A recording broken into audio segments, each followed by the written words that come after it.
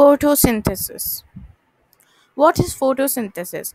In photosynthesis, green plants and other organisms use energy from sunlight to turn a gas called CO2, carbon dioxide, and water into sugar.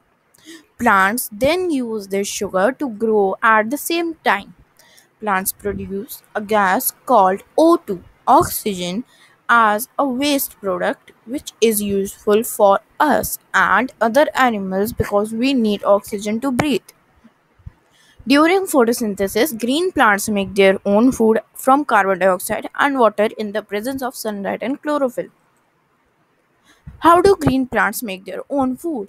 All green plants need the following things to make their own food water, which they get from soil, uh, like underground water, carbon dioxide from air, chlorophyll, which is almost present in the leaves of the plants, energy from sunlight. The process of photosynthesis mainly occurs in the leaves. The cells of leaves that contain chlorophyll are present in the upper side of the leaves. They receive the maximum sunlight. Veins present in the leaves carry water to the cells containing chlorophyll. Tiny pores which is present on the lower surface of leaf is stomata. CO2 enters leaf or carbon dioxide enters leaf through stomata and reaches the cell containing chlorophyll. How does photosynthesis occur? Sunlight falls on leaves and is absorbed by chlorophyll. Sunlight provides energy. This energy is used to split the water molecules H2O into H plus. Hydrogen OH minus hydroxyl ions. It is called photosynthesis of water. After this, the following reactions occur.